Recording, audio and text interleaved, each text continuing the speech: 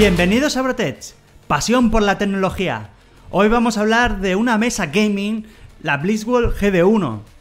Muy chula, muy guapa y muy económica. Vamos a ello. Antes de nada, darle las gracias a Banggood por dejarnos esta mesa, que está confiando mucho en nosotros y que aparte podemos ser sinceros con vosotros con los productos. Para empezar, está a un precio ahora mismo de oferta flash por 91 euros con 04. La verdad, os digo desde ya que un precio muy, muy recomendable y que si estáis buscando una mesa de este tipo, ir directos a ella. Os vamos a dejar aquí el enlace y si encontramos un cupón, también os lo dejamos para que sea mucho más barato. Pero vamos a hablar un poquito de las especificaciones de esta mesa. Deciros que esta mesa en sí no es muy grande, pero está muy bien hecha, está muy bien adaptada para poder poner todo lo que tú quieras, por ejemplo, tu ordenador, tu monitor, tu consola, tu teclado, tu ratón, etc. La verdad es que a mí me ha sorprendido eso que en mesas más grandes parece que no te cabe nada y en esta está tan bien adaptado, está tan bien pensada que te puede caber todo. Comentaros un poquito que las patas son metálicas y aparte tienen un refuerzo abajo y aparte tiene otro refuerzo en la base de arriba que va directamente a la parte de las patas metálicas. Eso hace que sea mucho más estable y todo se ve de buena calidad. La madera, porque es madera, es MDF pero tratada, o sea, tratada de una manera eh, que es de alta calidad. La madera MDF, que la he buscado porque no sabía realmente cómo era, es una madera que, oye, que si pones en un punto en concreto mucho peso, quizás se pueda doblar, pero suele ser bastante buena y repartido el peso no suele pasar nada. Y la verdad es que yo, viéndolo visto, es muy buena madera, aparte como la han tratado de manera para darle más calidad, pues evidentemente es superior. Y también está forrado con fibra de carbono y PVC. ¿Qué significa eso? Pues bueno, que si se te cae un vaso de agua o lo que sea, no va a filtrarse a la madera y aparte es súper fácil limpiarlo. Eso me ha encantado. Y aparte, el estilo de fibra de carbono le da un toque guapísimo. Como podéis estar viendo, también aparte del el símbolo de Blitzwell que han puesto, a mí me encanta el símbolo del lobo. Y la verdad es que lo han hecho muy muy bien, ya que tanto las patas laterales, que son en negro y rojo, y la parte de arriba en negro y en rojo, encima fibra de carbono, le da un toque estético muy gaming, muy pro y muy interesante.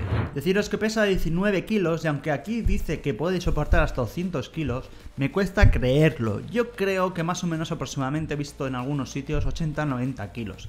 Que para poner 80-90 kilos en productos ya tienes que meterle tela marinera. Otra de las ventajas que he visto es que tiene soporte para eh, meter tu vaso, o sea que está súper bien, y tiene un soporte para los auriculares. No me gusta mucho la zona que sobresale de la mesa. Hubiera preferido que se metiera hacia dentro de la mesa. Lo bueno es que creo que si le das la vuelta también funcionaría y podrías tener el auricular hacia adentro.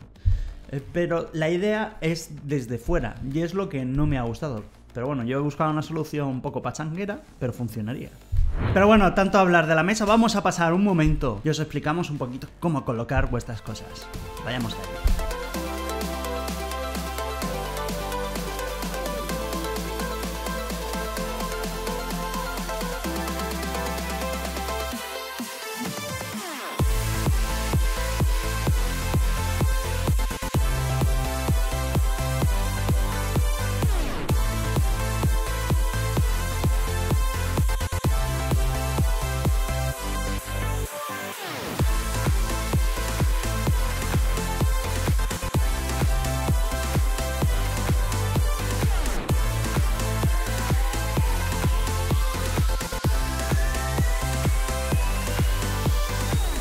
Bueno, ya habéis visto cómo queda, la verdad es que queda muy chulo, a mí me ha encantado, me encanta la mesa, me parece que aparte eh, dices, eh, le da un espacio, eh, si tienes poco espacio, vas a poder ponerlo en cualquier sitio, y aparte, no sé, es mi sensación es de que pones una mesa y te da el espacio justo y necesario para poder jugar, pero tampoco te ocupa mucho.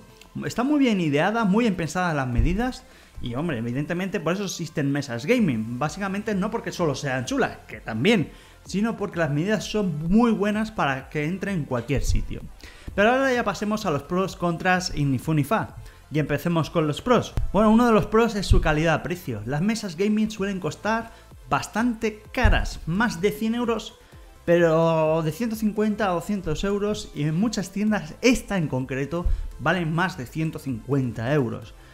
Es muy buena calidad, hay que decirlo, pero suelen ser caras y en Banggood, claro, como son ellos los proveedores, pues alguna vez hacen ofertas muy interesantes como esta, que sí la recomendaría.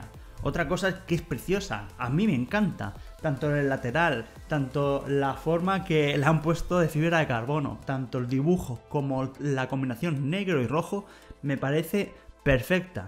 Y la resistencia, me parece una mesa resistente, que no se te va a romper a los cuatro días, se nota. Cuando coges la mesa para ponerla clavada a sus hierros, ya te digo yo que dices, ostras, ¿cómo pesa esto? Estamos hablando de 19 kilos. Y otro de los pros es que tienen posavasos y la zona de poner los cables me parece un puntazo para que no se vea todo el cableado por la zona de la mesa. Pero ahora vayamos a las contras. Ya hay una cosa que no me ha gustado. Como he dicho, hay una solución, darle la vuelta. Pero sería el soporte auricular. Está ideado para que esté hacia afuera. Y a mí no me gusta. Es una contra muy tonta, sí, lo sé, pero es, yo, es mi opinión, ¿eh? Quien no le guste, también lo puede decir, decir, oye, pues a mí me gusta fuera. Mm, pues no pasa nada, cada uno tiene su opinión, cada uno... Pero para mí es una contra, porque le puedo dar un golpetazo con, con la silla y caerse el auricular, cualquier cosa. Mi idea sería darle la vuelta y tampoco te cuesta mucho hacer ese gesto, o sea que no, no, es muy complicado. Y ya pasamos al ni fu ni fa, que son cosas que no son ni positivas ni negativas, pero nos gustaría que tuvieran. Y es que me hubiera gustado que en la parte de abajo, donde pasan los... Bueno, la zona donde pones tú los cables, hubieran también puesto un recoge cables adaptado para que no vayan colgando los cables. Es verdad que te puedes comprar tú en el IKEA y ya está, y lo tienes todo solucionado. Pero si lo hubieran tenido, por mí, encantado. Por pedir, pues eh, vamos a pedir siempre. Y bueno, y hasta aquí el vídeo. Cualquier cosita que os haya gustado, por favor ponedlo en la caja de comentarios, o lo que no haya gustado. Todas vuestras opiniones, mientras sean respetuosas, van a estar aquí y las tendremos en cuenta. ¿Hay algún detalle que me ha faltado? ¿Os gustaría que tuviera algo más la mesa? o creéis que la mesa es demasiada cara, cualquier cosita, dejadla en la caja de comentarios, suscribiros, darle al like, todas esas cosas que dicen los youtubers, y solo deciros, hasta luego.